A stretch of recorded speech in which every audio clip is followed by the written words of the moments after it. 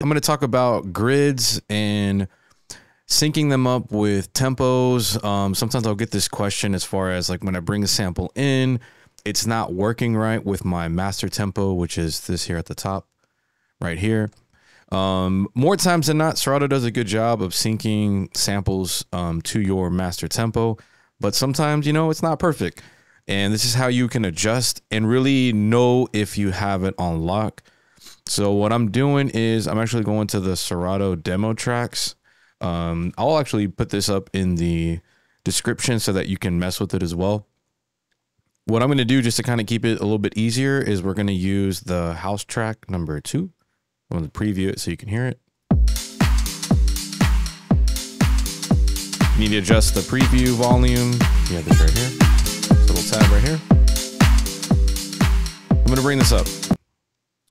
Now, what you're going to notice is it's going to give you the track information here, BPM, key, these BPM values of going double the time or half the time, and sync and key and key sync to that.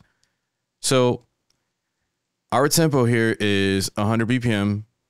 Our original tempo of our sample is 120. So if I go and since it's already made some cues for me or some chops, just for an example, I'm going to start at the one. This is our first one here. If I hit play with this metronome on, and I got to put it on one shot mode. There we go. we can hear that it's drastically slower, but it's in time with the tempo, which is super important. So say I want to raise this to 120 as far as this master tempo. I could click and move my mouse to 120. I could just type it in as well. Now we're at the original tempo. Everything's working with our metronome. Everything's fine. Sometimes, though, you're going to run into situations where that's not the case. So, I'm going to show you how this grid can be off if we're not careful or we're not paying attention. So, I'm going to take this off here. So, the window that you're looking for is this little grid icon right here. Right next to it is a little freeze icon. What that does is instead of it following along this timeline right here, it'll just freeze itself in position so I can do fine tune adjustments. Super helpful if you're trying to like really get on that downbeat or that transient that you're trying to go for. So again, I'm going to take this little option off, move our playhead over to the beginning. So let me delete this here. So when we go into this grid mode, let me delete this. There we go. We click on it we get this little uh, set of grid lines that's going on. And because this is like a house track and made in a DAW, um, more than likely it's going to be right on the hits. So this grid start is where you're going to start doing your gridding. So say I wanted to do the grid here. I was at the one. Sometimes the sample you might have is it has some silence at the beginning. So sometimes the grid starts here where there's like nothing. And sometimes there's where you can run into issues because it's not right on the first kind of transient. So to kind of make your life a little easier, you move this to here. So now it's straight down. So if I set the grid start there, it's going to line up all these for the most part. Because as you can tell, this is off a little bit. This is off a little bit. So let me go back here, set my grid start. See how this kind of lined up, lined up, lined up.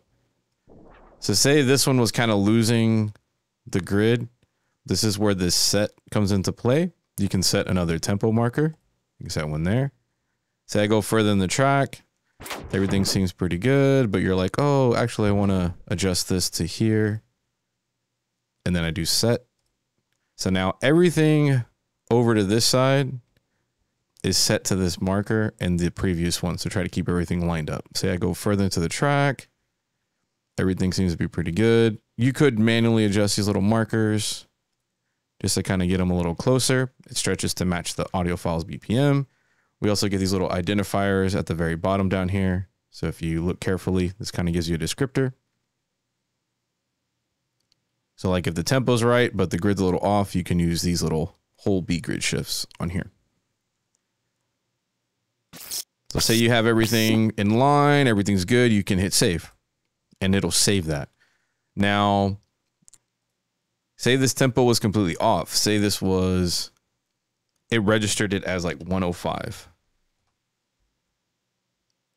You're going to see that all the grids are off. And when I play it here with the metronome, say I saved it, I'm going to remember that it's 120, but I save it as 105. It does change that. So just be careful. But now, if I play this, the cue there, it's completely off. Like it just doesn't match. Like I'll even make it two bars so we can really hear the train wreck. I mean, it's all over the place.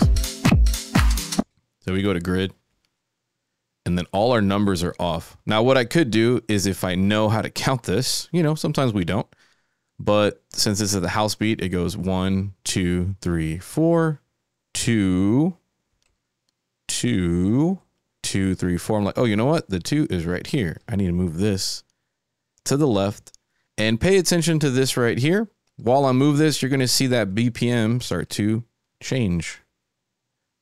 And no coincidence, when I get this to that second beat, it's really close to 120. Now I could really fine tune this more more more.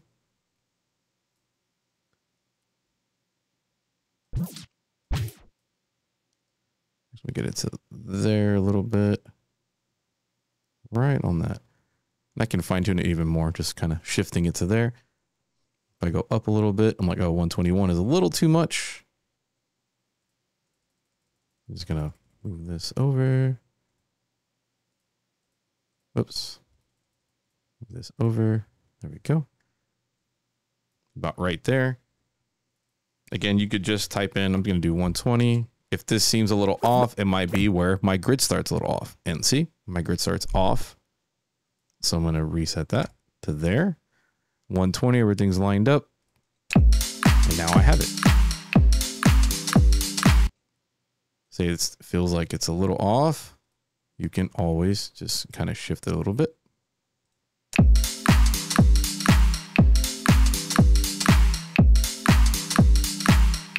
Again, you can fine tune this how you need to.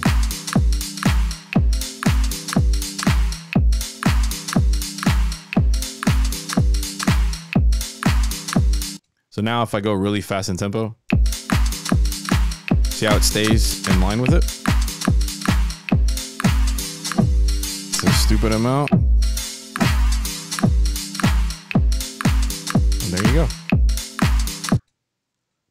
Again, it doesn't just have to be a house track. We can do it to a hip hop track too. So say we have this.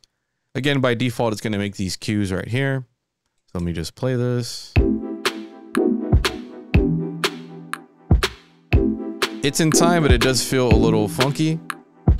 Our BPM is 70. This is 121.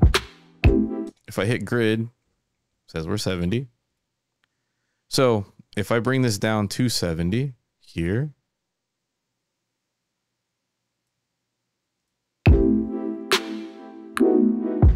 there we go.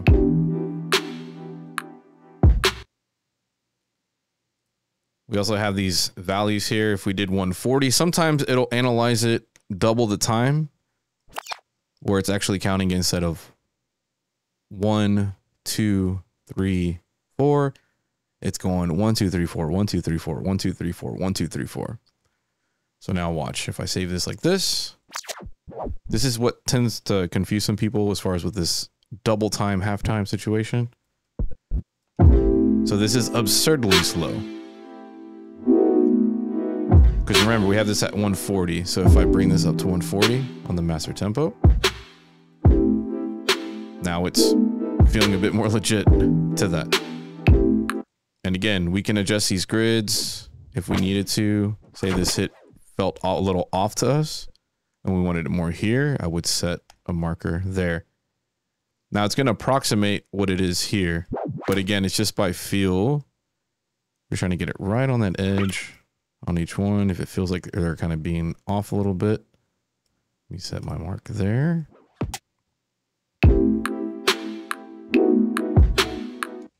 I could shift this over a little bit.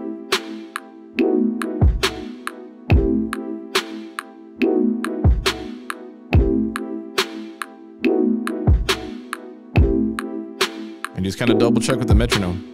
See if that's feeling fine. Again, if you feel like you need to adjust, you can. You can just shift over where you're just trying to get this to get right on each little transient hit.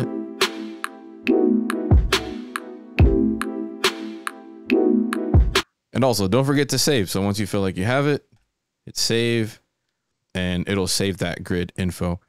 Again, sometimes you're going to get a sample that is brought in will not match. Um, a good thing to just double check on on certain um, sample packs you get, they'll have a tempo here laid out. This says like 124 BPM. So say, let's just bring this in. Registered 124. This registered 124. Sometimes there's issues where you bring this in and this tempo is completely different. It might be 114. And you're like, wait a second, that's not right. So I'm like, okay, 124, double click, type 124, and then those grids should match up now. And then you just hit save on there. So yeah, there's a little little uh, recap on doing uh, beat grids. If you run into any issues, feel free to let me know. Um, again, I appreciate all the comments. And again, just here to help everybody out as much as I can. Enjoy the rest of your day, everybody. Peace out.